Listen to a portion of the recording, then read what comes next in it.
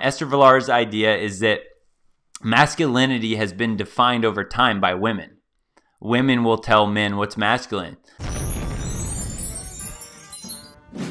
A chapter from the book The Manipulated Man, right here by Esther Vilar.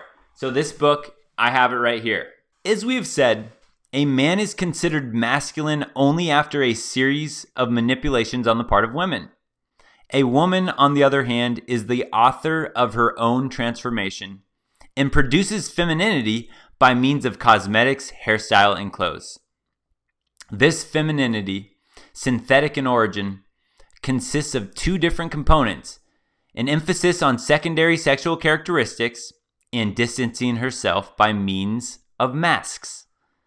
Woman makes use of various types of masks in order to make the difference between herself and a given man as conspicuous as possible.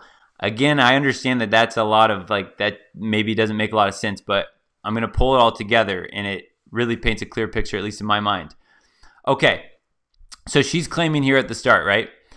And she actually talked about this throughout the book that a man is considered masculine. We are considered masculine, and we know this, right? If if you go by the MGTOW philosophy, right, part of that is doing your own thing, not living up to society's expectations of what men are supposed to be. And so, um, Esther Vilar's idea is that masculinity has been defined over time by women. Women will tell men what's masculine uh, like you know serving and protecting your country. Um, you know uh, the letting the children or women and children off the lifeboats first opening the door open for women all these like naturally chival- chival- chivalrous things um, again it's masculinity. That's what they'll use to you know you guys know like the shaming right? They can shame you certain ways because you're not living up to the ideal. If you're not getting married you're not being a man. You're not going to do the family, the um, the wife, the white picket fence. You're not being a man, right? They will hold men up to this masculinity that they create. They create their own definition of masculinity. However, on the other hand, she's saying that women control their own femininity. So a woman can tell a man, man, what is masculinity? Uh, you know, what are you supposed to act like? How are you supposed to behave? But she also gets to do whatever she wants. And because she's a woman, whatever she decides basically is femininity. And we see this same idea right now with the whole um, idea where women are like, well, you better do do this and this for me. And we're like, what are you bringing to the table? And the woman's like, uh, duh, me, myself. It's like that. That's that's the idea is that she is bringing her femininity. That's enough. So she can create her own definition of what a good female is, a good a good woman. That's why she can say, "Well, I'm bringing myself. That's enough to the table." But if you're not living up to her ideas of masculinity, then you don't fit. So again, she's kind of basically saying that men don't have a say in it on, you know, a certain sense, right? Men have to live up to society's expectations and then women can have their own expectations of what it means to be a woman she's basically claiming, and here's where the lie that we're told, right? She's claiming that femininity um, is basically made up of two components. This is how, in her mind, women look at femininity. The first component is the sexual characteristics of the feminine sexual characteristics. And the second characteristic is by um, using masks. And we're going to get into what this means. And then it's going to come together, guys. So those two components, right, of femininity. The first component was her sexual characteristics. The second component was being able to wear different masks to distance herself. And why that's important is, uh, well, that's what we'll get to. So the first component serves to make her desirable to man. The second to make her mysterious to him. She herself thus creates the equivocal, unknown opposite sex, making it easier for him to accept his enslavement. Okay, this is why it's so mind blowing in a sense. Okay, so here's the idea, right? If Esther is actually correct, let's just say that other than reproductive organs, organs, and then obviously some, you know, uh, testosterone and whatever other like that, like what if men and women are actually more similar than we're kind of told? Just taking Esther Vilar's kind of uh, definition of this.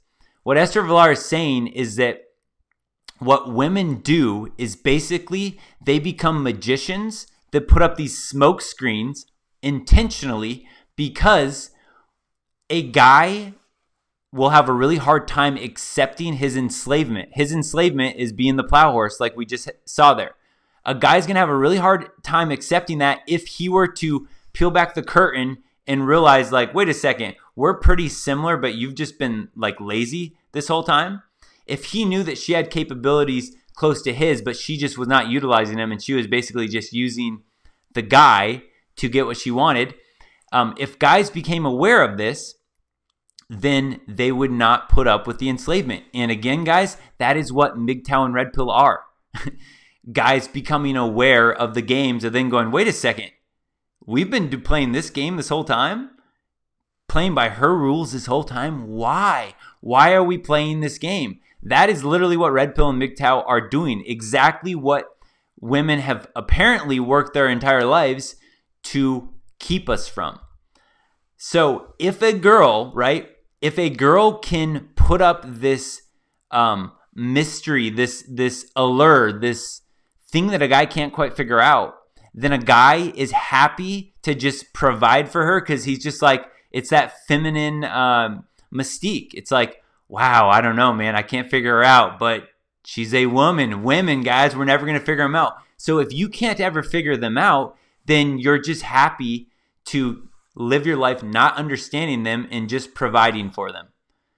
But if you peel back the curtain, like Esther Vilar does in this book, and guys figure out the truth for what it is, which again, a lot of guys are waking up to this, then you start to look at it and you go, wait a second, what are you bringing to the table, lady? What are you bringing to the table? And don't just tell me you're bringing yourself to the table because I'm asking what what are you comprised of? What is you yourself? What are you now bringing to the table?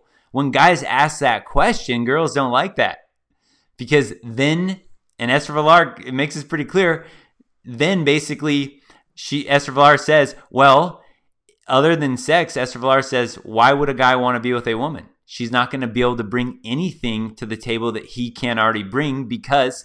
her whole idea that right guys have to spend their entire lives working working on their character working on things women always have that third option so over time guys just get to this playing field where she's like guys would become bored of women if they didn't have this mystique around women like that's that's her kind of idea in this book thanks to the wide range of possible transformations each woman can offer a man and a real woman varies her looks just a little every day, she keeps him in a state of constant bewilderment. While he is still trying to find yesterday's woman and today's, she gains time to achieve her own ends. She will maneuver the man into an untenable position, all the time skillfully distracting his attention from the stench of a rotting mind beneath the pleasing mask. Okay, so again, she's basically saying, right? And and we know this about women. It's always been odd, right? About women. It's just uh, it's just a girl thing to do. They're always doing different outfits. They got a bazillion different shoes. They wear their hair in all different ways. Why do they need all these different outfits and accessories and all these different things? Okay, again, this is something that me as a man would never have thought of because I've never lived like a woman. That's why it was so interesting to read this book from a woman's perspective because she's basically saying the reason that women recreate themselves every day with new outfits, new hairstyles, is because the man in her life can never quite figure her out. The guy might get skeptical about something she did yesterday, and then all of a sudden, this new girl shows up today with a different hairstyle than yesterday, different a different outfit, a different shoes. Think about that. It's like a magician putting smoke screens up. It's like never you'll never figure out my tricks because look at look at the new presentation I have for you today. I got a new card trick for you today. So don't worry about yesterday. Don't worry about yesterday's card trick. Don't try to solve that cuz look at today. And it's like this constant smokescreen where they pop up in these different ways so men are just enamored. They don't understand. Wow, it's a different girl showing up for me every single day. So the guy never sits back and puts all the clues together and starts to go, wait a second, I feel like I'm bringing a lot more to this relationship. She constantly changes so the guy can never figure her out. And when the guy can never figure her out, he can never actually sit back and like weigh pros versus cons. Wait, what is she actually benefiting my life versus what am I doing to benefit her life? It's like, think about that, guys. If you're always being entertained, how are you ever going to logically be able to use your mind to think about, you know, the, the rationale behind what's going on in front of you? So they're like these little magicians. woman regards her natural self merely as the raw material of a woman. Not the raw material, but the end result has to be judged. Unmade up, without curls and bracelets and necklaces, women are not yet really present. This explains why they do not mind running around in curlers or with cold cream on their faces. It is not they at that stage, they are still occupied with the process of becoming them. They succeed with this sort of make believe all the more easily because they are not hampered by any kind of intelligence. There you go again. Like I'm telling you, she was hammering that through the entire book. Just like women are not intelligent. Like all this, all of this stuff throughout Again, that's from Esther Vilar, ladies. Let's see this later.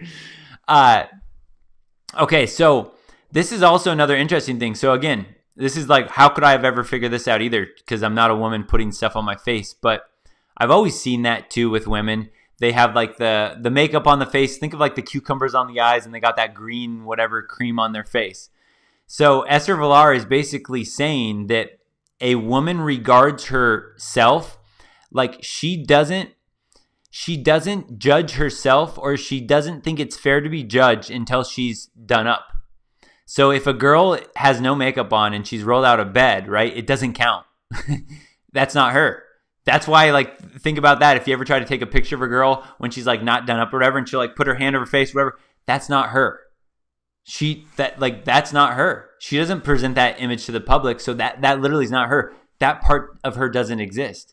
Think about online dating now with like angle pictures and how they do filters and all that stuff, right? Her is not what you get every single day. Her is the finished product that she puts out after makeup and all that stuff. So you can't count, like in her mind, like, no, no, you can't take a picture of me without my makeup on. This is not me. I am just a blob. I'm I'm in the abyss right now, right? When it's like women go into the abyss and they're nothing you can't find them. They're hiding until they put on all their makeup and then they pop out. And it's like, here I am. This is me. And it's like they go back into their abyss. I'm in my makeup stage right now. I, I don't even exist. And they pop out with different makeup on. It's like, this is me now. It's like, it's like when they're in their abyss stage, it's like they're blacked out. No one, it's not them anymore. They're not responsible for anything. It's like a really weird way to look at things, guys. All right, we got a super chat from Mumtaz, Mumtaz Shamsi. Thank you, man. Mumtaz Shamsi says, well, you are plowing to make one thing happen for them. They already have next item on their wish list on their mind. Your mind can never rest. Very well said. Exactly. And uh, guys, okay, this is why I thought this was so interesting. And again, I only know what's going on in my own brain. So I, I hope as we continue to go this you know through this this makes more and more sense um, as well to you guys because in my mind it's so clear right now but doesn't this even correlate back to why we even see this right here where um, it's like you know like the honey to-do list. When you're when you're the husband you're going to constantly be working. Because think about this what esther vilar said right? Remember men have two options. You either do it or hire somebody. Women have three options. Do it, hire somebody, or get a guy to do it. Well, when they have a husband, think about that. Their entire life, they've learned how to use this third option. So now you get a husband, and they've learned this entire um, their entire life how to get other people to do things for them. Think about why she constantly has the husband put to work. She's like a master delegator by this time because she's been able to hone this skill throughout her life. And so now this guy does it and he thinks that finally, when I build the treehouse in the backyard for the kids, she'll get off my back. Boom, build the treehouse. The gutter's not fixed. finally, when I fix the gutter, she'll be off my back. Hey, we got to redo the floor. Blah, blah, blah. On and on and on. right? Because she's she's a master delegator at this stage in her life. Don't forget, subscribe, like, comment, share the video, but definitely subscribe.